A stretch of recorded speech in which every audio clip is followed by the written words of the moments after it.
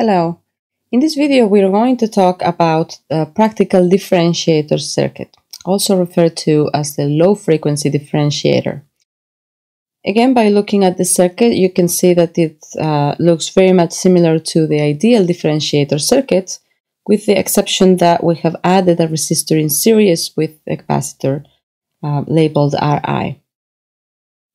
And we're going to see as we analyze the circuit that uh, the addition of this resistor is going to prevent uh, those limitations of the ideal differentiator, namely the amplification of high frequency noise, or the unbound, we should say, amplification of high frequency noise. Let's go ahead and do the analysis of the circuit in the frequency domain. And so I'm going to uh, replace the components by their frequency domain equivalents. Uh, so phasor v in, phasor v out, and uh, resistors stay the same.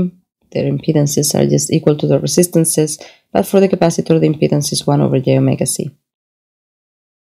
I can also see that this resembles um, the structure of an, of an inverting amplifier uh, with resistor RF, the impedance in the feedback path just being RF, and then we will have uh, the series combination of Ri and 1 over j omega c as the um, input impedance.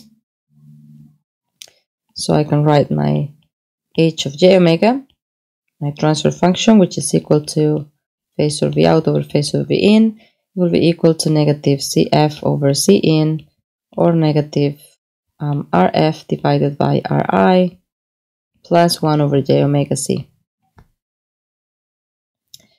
and I can divide numerator and denominator by Ri and so I will have negative Rf over Ri divided by 1 plus 1 over j omega Ri times c.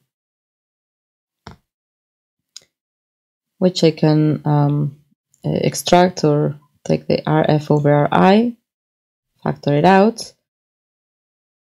Left with um, a multiply times uh, j omega, numerator and denominator, just to do it all in one step, and I'll be left with minus rf over ri times j omega divided by j omega plus 1 over ri times c.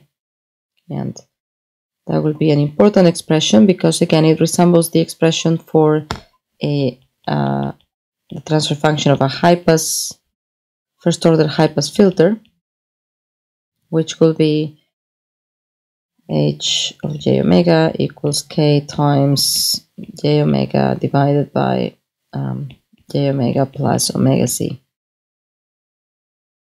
And so in this case, this will be our gain factor.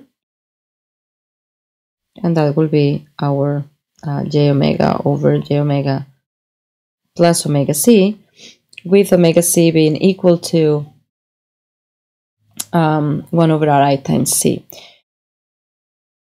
If we wanted to uh, draw or plot the magnitude response of the circuit, meaning magnitude of j omega in dBs versus frequency, we'll see that it resembles that of a high-pass filter, so it goes increasing at the rate of 20 dBs per decade until um, it reaches f sub c and then it flattens out. So this will be equal to f sub c which in this case it will be equal to 1 over 2 pi ri times c. And this will be equal to 20 times the log base 10 of rf over ri. And again, it resembles the, the graph for a, an ideal differentiator. The ideal differentiator was just increasing uh, unbound. This will be the ideal differentiator circuits. The black line will be the practical or low frequency differentiator. So notice that uh, the circuit behaves as a differentiator for frequencies that are uh, much lower than the cutoff frequency. And so circuit behaves as differentiator for a range of frequencies f much lower than the cutoff frequency. Uh, something uh, else to notice is that in the case of the practical integrator, it was RF, the resistor RF, and the capacitor C, the ones that determine the value of the cutoff frequency, and then RF and RI determining uh, the gain in the passband. Whereas in this circuit, it is um, RI, the one that interacts with C, and to determine the cutoff frequency, and uh, RF and RI again determine the gain of the circuit. Um, and so uh, the circuit can be used in any application that requires uh, a differentiator or obviously a high pass filter. We had already mentioned some applications of differentiators. They can be used um, in addition to performing uh, the, the derivative of, a, of an input signal. They can be used in applications where you're doing um, detecting events, so event detection applications, wave shaping circuits, etc. Thank you.